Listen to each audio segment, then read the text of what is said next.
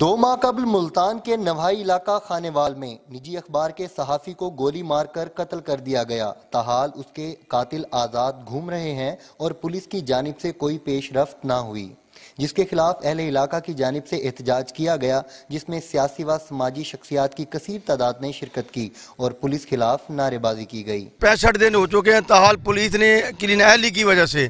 قاتل ہی پکڑے گئے اور ہمارا آر پی او صاحب، آئی جی پنجاب وزیر اعظم پنجاب اور چیف جسٹس پنجاب سے مطالبہ ہے کہ ہمارے بھائی شہید شہید بیٹھ کے قاتل کو فوری طور پر گرفتار کیا جائے۔ قاتل کو بے نقاب کرے گرفتار کرے ہمارا احتجاج جب تک ہمیں قاتل نہیں ملتے جاری رہے گا۔ مظاہرین نے D P O office Khanewal کے باہر دھرنا دیا لیکن ڈی پی او ہی اپنے دفتر سے غائب رہے۔ چھیاسٹھ دن ہو چکے ہیں اس کا کوئی سراغ نہیں ملا۔ قاتل جو ہیں دن راتیں پھیر رہے ہیں اس کے فوٹوز ہم نے دیے۔ ہیں اس کے باوجود پولیس وہاں تک نہیں پہنچ سکی۔ ہم کیسے مان جائیں؟ ہمارے بھائی محمد سعید بٹ کو قتل کیا گیا۔ ہمارا عبد الحکیم سسک سسک کے رو رہا ہے لیکن ہمارے آنسو صاف کرنے کوئی نہیں ہے۔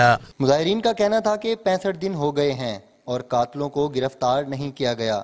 ان کا مزید کہنا تھا کہ جب تک قاتل گرفتار نہیں ہو جاتے ہمارا احتجاج جاری رہے گا۔ کیمرمین محمد ہاشم کے ساتھ مکرم خان چینل فائف ملتان۔